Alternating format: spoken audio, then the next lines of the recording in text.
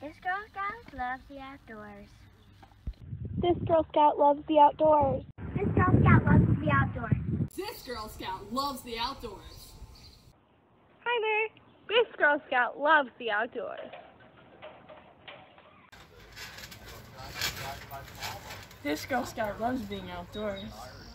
GSUSA just launched the Girl Scouts Love the Outdoors Challenge, and I challenge you to get outdoors this summer and try something new.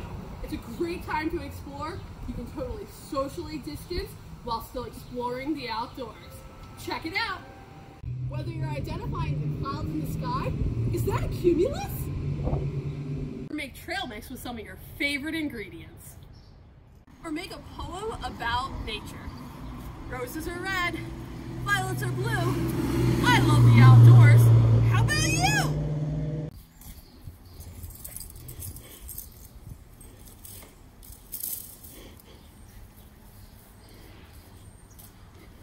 Or make an obstacle course for your family. Whatever age level you are, there are plenty of activities here for you.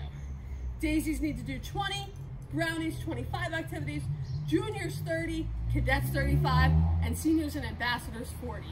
This is up on our website, gsep.org. Check it out and let's see you do the challenge. This Girl Scout loves the outdoors.